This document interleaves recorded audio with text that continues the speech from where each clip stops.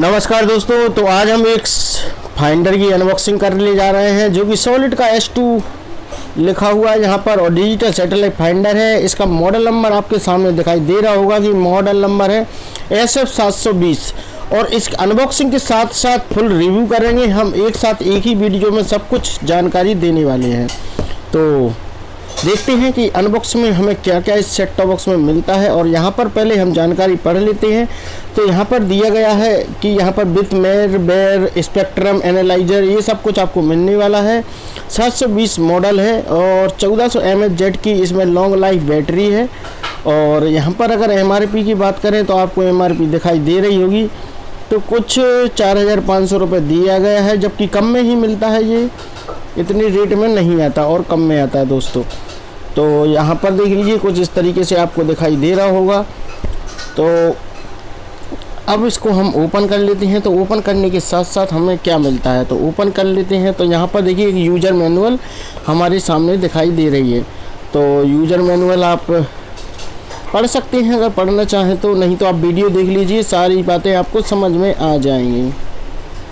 तो यहाँ पर देखते हैं फाइंडर तो फाइंडर कुछ इस तरीके से है। देख रहे हो आप। तो हमें साथ में क्या क्या मिलता है? तो एक हमारे लिए एक कनेक्टर मिलता है तो ये वाला और इसी तरीके का एक और है दोस्तों, दो कनेक्टर तो इसके साथ हमें दो कनेक्टर मिलते हैं। तो कुछ इस तरीके के कनेक्टर हैं, आपके सामने दिखाई दे रहे होंगे। तो ये छोटा सा हिस्सा है, ये छोटा और एक साइड है, बड़ा हिस्सा।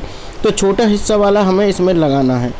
तो अभी लगाते हैं, थोड़ी देर में सबसे पहले हम देख लेते हैं इसका अडेप्टर अडेप्टर कैसा है और ये कनेक्टर हो गया, ये अडेप्टर हो गया। तो अडेप्टर यहाँ पर देख लीजिए, कुछ इस तरीके का है, बहुत ही अच्छी क्वालिटी का है। और यहाँ पर अगर हम बात करें कि इसके पावर वगैरह क्या क्या है तो इसमें देखिए आउटपुट के लिए 12 वोल्ट और एक एम्पियर इसमें दिया गया है। तो 12 वोल्ट एक एम्पियर हमारे सेट टॉप बॉक्स में भी आता है। बहुत से सेट टॉप बॉक्स में 1.5 एम्पियर आता है और 1 एम्पियर आता है तो आप उसका अडेप्टर भी यूज़ कर सकते हैं चार्ज करने के लिए। तो यहाँ से देखिए ये केबल है। बिल्कुल सेट टॉप बॉक्स जैसी ही इसमें पावर केबल है डीसी 12 वोल्ट। अब हम फाइंडर देख लेते हैं। तो फाइंडर को ओपन कर लेते हैं सबसे पहले तो कि हमें ये कवर हटा देते हैं। तो किस तरीके का ये फाइंडर हमें दिखाई देगा। तो यहाँ से मैं हटा लेता हूँ। वेट करिए। तो एक ही हाथ से करना पड़ रहा है दोस्तों। एक हाथ से कैमरा पकड़ के रखा है। तो यहाँ पर देखिए फाइंडर कुछ इस तरीके से है। तो मैं आप लोगों के लिए बता देता हूँ कि आप ये ओपन ना करें। यहाँ पर लिखा है warranty void if seal is broken. इसका मतलब ये है कि आप ये सील तोड़ दोगे तो आपकी वारंटी आउट ऑफ़ वारंटी हो जाएगा। तो आप ऐसी कोशिश ना करें। और यहाँ पर देख लीजिए डिजिटल सैटेलाइट मीटर फ्रिक्वेंसी वगैरह दी गई है जो भी है सीरियल नंबर दिया गया है ये। और यहाँ से कुछ इस तरीके से एक यूएसबी है पावर इनपुट के लिए जो मैंने अभी अडेप्टर बताया था। तो अडेप्टर इस तर, इस जगह पर लगेगा। और नीचे की तरफ़ आप देख रहे होंगे कि बंद चालू करने के लिए एक पावर बटन दिया गया है।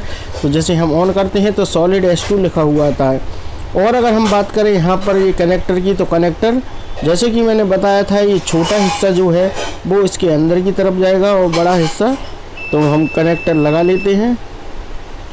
देख लीजिए कनेक्टर अगर आपस में टच हो जाता है दोस्तों तो बीप की आवाज़ आती है। और एक मिनट दोस्तों, इसको लगा लेता हूँ। तो यहाँ से हम इस तरीके से इसमें लगा लेंगे, और लगाने के बाद आपको डिसेंटीना की पिन इसमें लगाना है। और फिर आप सेट टॉप बॉक्स की ज़रूरत नहीं है, आप छत पे ले जाकर सेट टॉप बॉक्स ले जाते हैं और फिर डिसेंटीना सेट करते हैं। ये सब कुछ है, बैटरी इसमें कुछ नहीं करना, आप सेटेलाइट से पहले इसमें लगाएँगे तो आपको यहाँ पर सिग्नल दिखाई देंगे और आप आसानी से डिसेंटीना सेट कर सकते हैं। तो अब हम इसको वापस लगा रख देते हैं कवर में ही और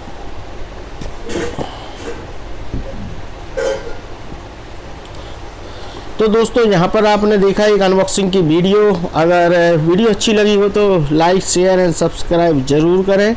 नीचे बेल आइकन बटन है, वो दबाना ना भूलें। तो थैंक्स फॉर वाचिंग दोस्तों, फिर मिलते हैं किसी नेक्स्ट वीडियो में।